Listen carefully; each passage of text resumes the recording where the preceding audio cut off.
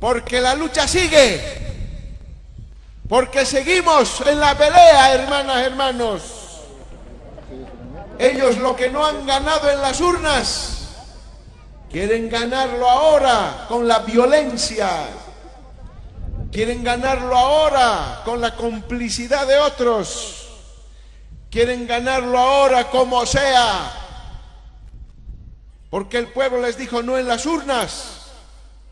Y le volverá a decir no en las calles, hermanos, hermanas.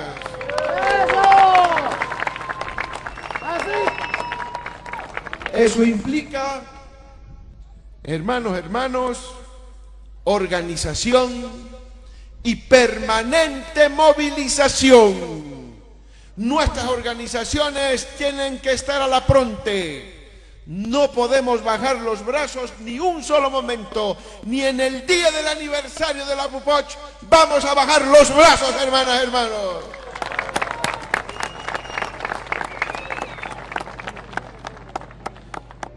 Y no es que nosotros queramos desatar violencia, hermanos.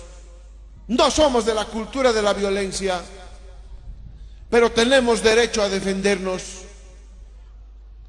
Tenemos derecho a defendernos porque nosotros, al igual que el pueblo boliviano, quiere paz, quiere tranquilidad.